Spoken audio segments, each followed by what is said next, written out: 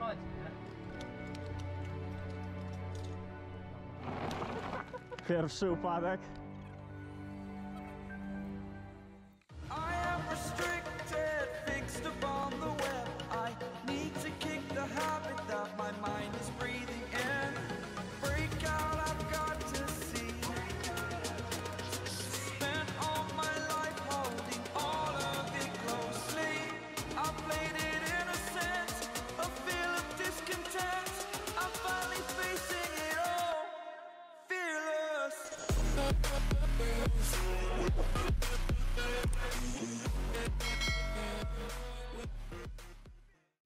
Nie znaleźliśmy wejścia i chyba trzeba się wspinać po kamieniach i przejść przez krzaki. Nie wiem, czy to jest dobry pomysł. No myślisz, że tam nie spadniemy gdzieś? A myślę, że to może być ścieżka jeszcze, tam o, w górze. Bo jakoś ludzie na tą feratę stąd muszą chyba wchodzić, nie?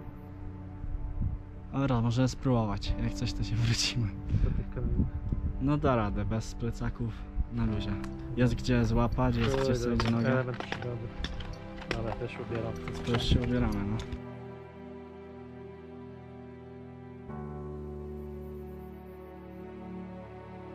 Tutaj ma, jesteśmy na takich dwóch linach podłączeni cały czas. I co chwilę trzeba się przypinać jak na takich, jak są takie momenty. No i się wchodzi, nie? Dobry trening dla całego ciała, polecam. No jesteśmy już na feratce. E, Poziom jest bardzo wysoki, bardzo zaawansowany.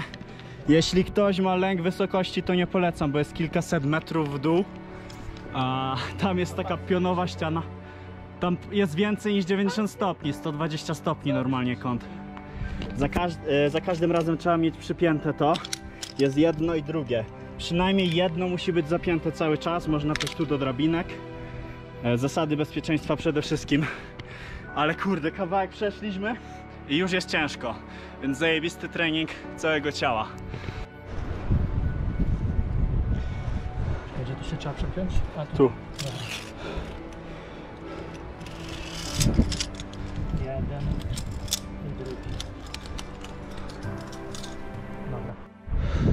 Jest pierwsza przerwa. Wysokość 300 metrów.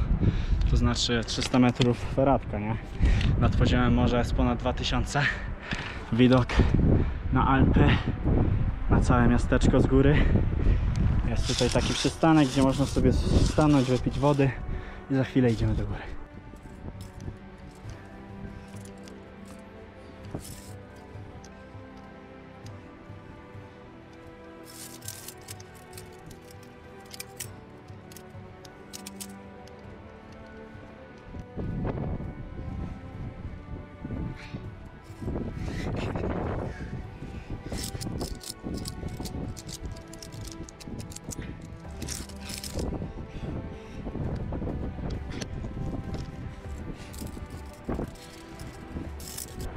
Naprawdę trzeba mieć dużo siły w rękach, bo są ściany 120-130 stopni.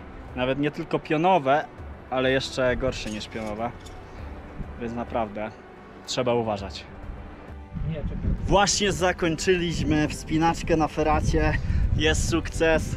Poszło szybciej niż myśleliśmy, ale serio było bardzo trudno. Teraz wracamy szybko na dół, bo mamy dzisiaj hosta na couchsurfie. 3 godziny stąd, więc trzeba tam dojechać stopem. Jest już 15, a żeby tam dotrzeć do niego o sensownej porze, no to trzeba już jechać, co nie? Więc idziemy.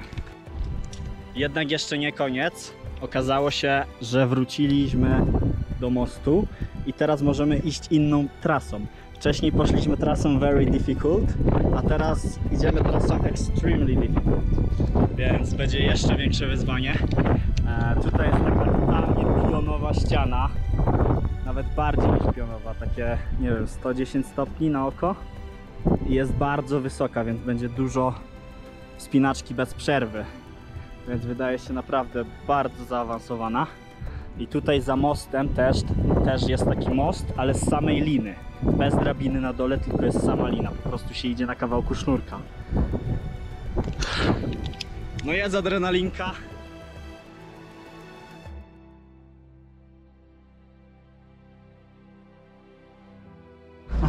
Grazie, grazie, signor. Grazie. Auguri, eh. Ciao. Ok, vai, arrivederci. Ciao, grazie. Bye bye. Attenzione lì, eh. Ok. Bye.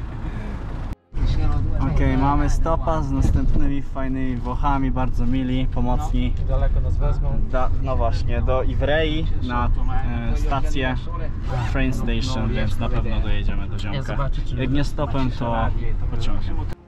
No i dojechaliśmy nad jezioro, blisko miasta, do którego nas wzięli wcześniej. W ogóle tak raz machnęliśmy z dupy palcem, kciukiem i pierwsze auto się znowu zatrzymało, już chyba piąty raz. Niesamowicie łatwo się łapie stopa tu we Włoszech. Zatrzymują się prawie wszyscy, normalnie szok. Jesteśmy w szoku, jak to łatwo idzie, naprawdę. No i dalej łapiemy stopa, tym razem na miasto, które nazywa się Biella. Taka miejscówka. Przed chwilą znowu machnęliśmy tak po drugiej stronie, idąc pra praktycznie tyłem i jakaś pani się zatrzymała. Pierwsze auto, które jechało, nas podwiozła na wylotówkę. Normalnie stop tutaj działa perfekcyjnie w tym rejonie.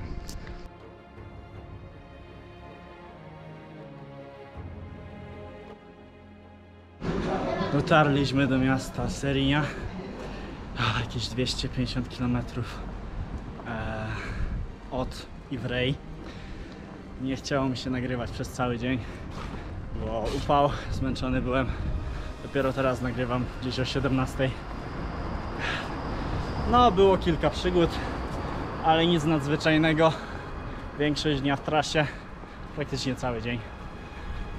Więc teraz sobie zwiedzamy jakieś historyczne miasto.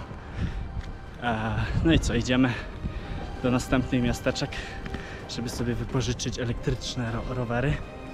Będziemy jutro jeździć. Four, five. Mo- e, Power. The a- assistance. A, okay. yeah. The assistant. Okay. Mhm. Okay. Regulation. Yeah, yeah. Okay. Cambio. Gears. Okay. The fluid. Mhm. Ok. Yes. E que- questo per tornare dietro. Ok. So, uh, uh, higher, lower. Ok. Yeah. Yes. Eh, provo a fare un giro così vediamo se.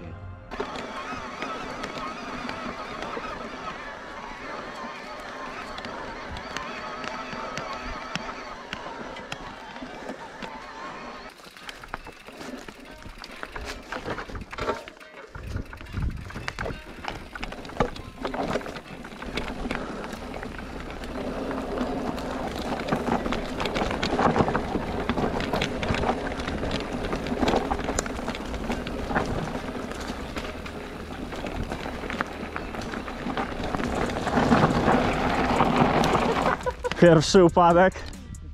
Ale na szczęście do miejsca.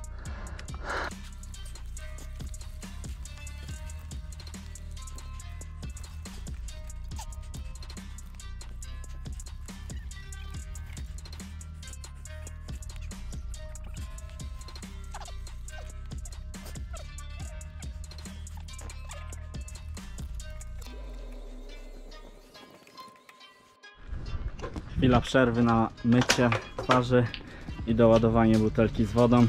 Super, że są te krany. No zajebiste. To już bardzo mądry to wymyślił.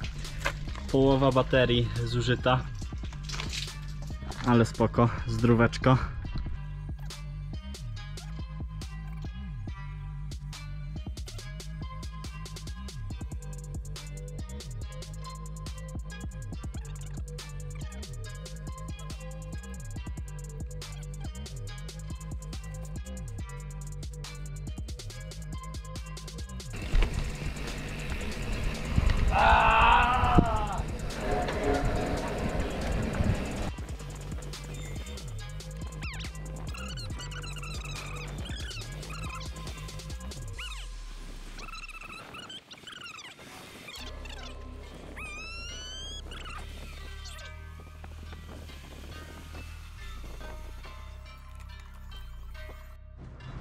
Jesteśmy teraz e, w mieszkaniu naszego hosta z Iranu w Bergamo.